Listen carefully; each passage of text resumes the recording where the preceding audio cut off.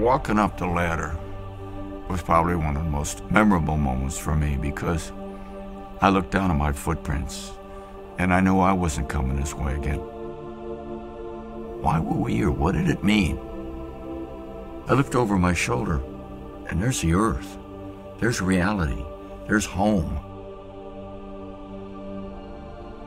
I, I wanted to I wanted to press the freeze button. I wanted to stop time.